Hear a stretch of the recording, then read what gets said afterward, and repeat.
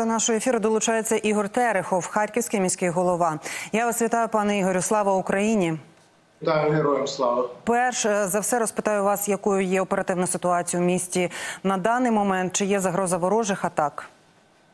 Ну, хочу сказати, що відносно спокійна ситуація, яка сьогодні у нашому місті, в місті Харкові. Але як ви вже казали, що дуже важкий е, це Куп'янський напрямок е, і е, та евакуація, яка була вчора об'явлена, і ми прийняли відповідне рішення на раді оборони Харківської області, і будемо це це виконувати. У міста є можливості для того, щоб розмістити усіх цих людей, які будуть е, евакуйовані з дітьми е, до міста Харкова. Е, тому працюємо над цим. Але що стосується ситуації, хочу сказати, що незважаючи те, що відносно спокійна ситуація, ми повинні бути дуже обережними, бо наш ворог у будь-який момент може здійснити ракетні обстріли міста Харкова, і до цього ми повинні бути готовими.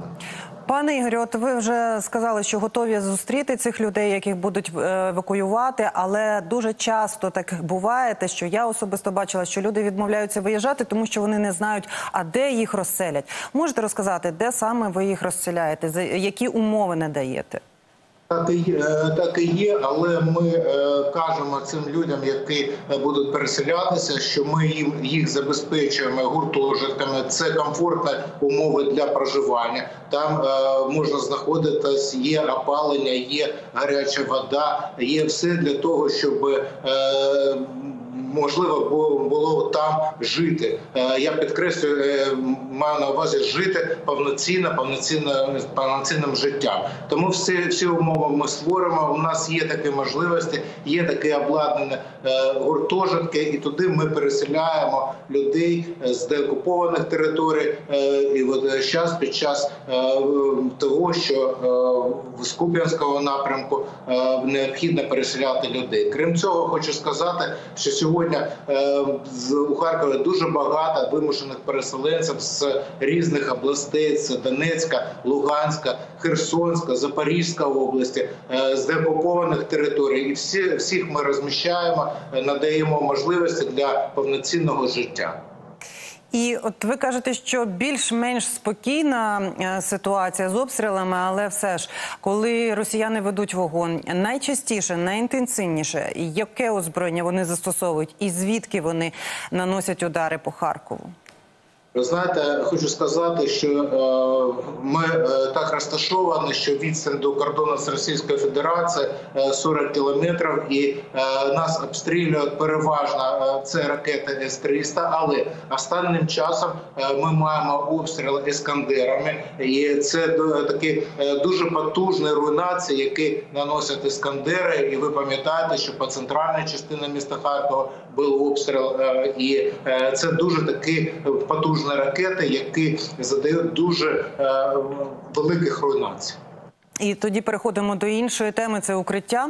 А, можете назвати у відсотковому значенні, яка от частка укриттів у Харкові абсолютно готова і придатна, аби в ній могли ховатися люди і зауважу саме в холодну пору року. Так є. Е, дивіться, що стосується укриттів, то ми маємо сьогодні е, на балансі 3105 укриттів, які повністю облаштовані і готові. Е, крім цього, у нас є пункти незламності. Їх в комунальній власності знаходиться 75 пунктів незламності, які теж повністю на 100% готові.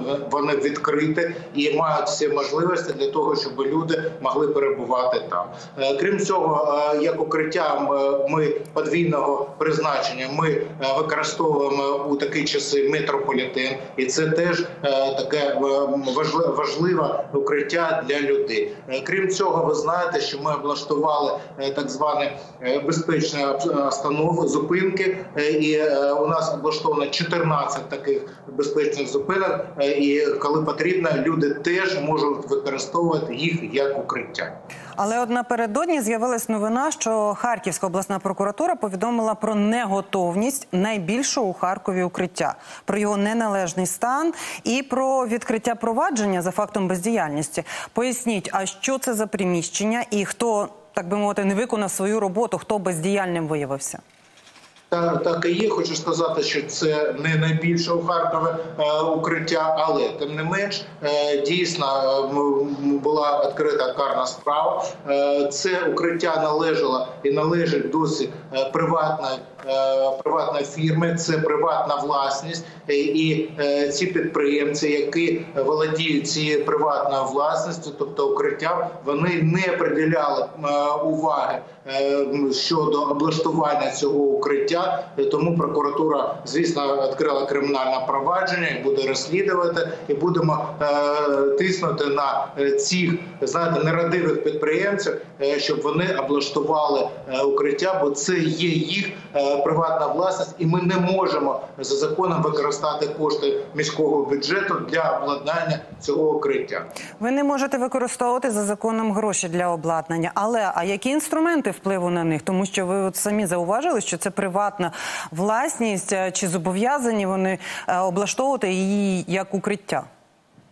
Так, зобов'язаний і дійсно прокуратура тут е, наш надійний помічник щодо е, знаєте, примусового примусити їх, щоб вони обладнали це укриття. Крім цього, ми можемо розглядати е, таку певну можливість, щоб вони передали на баланс міста Харкова це укриття. Це потрібно домовлятися з ними, і тоді ми все це облаштуємо так, як і інші укриття в місті Харкові. Пане Ігорю, на початку нашої розмови ви зауважили, що у Харкові нині проживають переселенці вимушені і з Луганської області, з Донецької області. Але проживання місяць, тиждень. А якщо вже тривалий час, наскільки Харків може їх забезпечити робочими місцями? І чи є взагалі такі випадки, коли підприємці, наприклад, західної України поверталися, е, знову відкривали, запускали своє виробництво і створювали таким чином робочі місця? Чи є складнощі з працевлаштуванням саме людей, які переселяються з інших регіонів? Дуже важливе питання, яке ви е, ставите, і це питання не тільки для міста Харкова, а для всієї нашої України під час війни. Так дійсно багато підприємств сьогодні зачинені, зачинені е, тому, і е, просто люди виїхали е, і виїхали в інші області, в інші країни, і ми розуміємо це. Але хочу сказати, що е, стосується вимушених переселенців, так е, потрібно їх працевлаштовувати, і це ми розуміємо.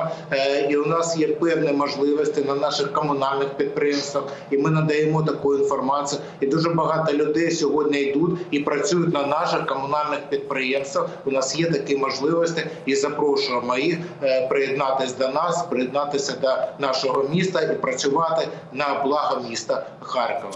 Е, Крім цього, хочу сказати, що дуже багато сьогодні людей е, повертаються до е, міста, і я пишаюся тим, що незважаючи на всі жахи війни, ми сьогодні по статистиці четверте місце займаємо е, за відкриттям нових ФОПів. І це дуже важливо. Це дуже важливо, бо це створення е, робочих місць, це заробітна платня і це нормальне життя людей.